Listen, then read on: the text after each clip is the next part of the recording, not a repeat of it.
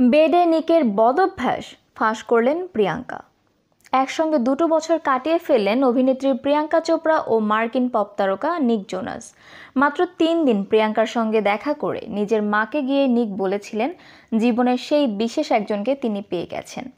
এর ঠিক দু মাসের মাথায় অভিনেত্রীকে নিজের মনের কথা জানিয়েছিলেন তিনি। এরপর দু হাজার এক ও দুই ডিসেম্বরে বিয়ে করেন প্রিয়াঙ্কা ও নিক। দুই বছর একসঙ্গে থেকে বেডরুমে নিকের একটি বদভ্যাস সম্পর্কে জানতে পেরেছেন প্রিয়াঙ্কা।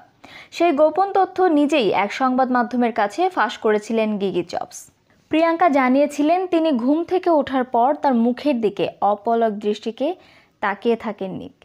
মেকআপহীন মুখে একটু ক্রিম আর একটু মাস্কারা লাগাতে চাইলে প্রিয়াঙ্কাকে সে সুযোগও দেন না নিক। প্রিয়াঙ্কা বলছেন "এ- এটা আসলে খুবই বিরক্তিকর। কিন্তু আমি ঘুম থেকে ওঠার পর ও জোর করে আমার মুখের দিকে তাকিয়ে থাকে। আমি বলি যে, দাঁড়াও, একটু মাস্কারা আর ক্রিম লাগিয়ে নিতে দাও।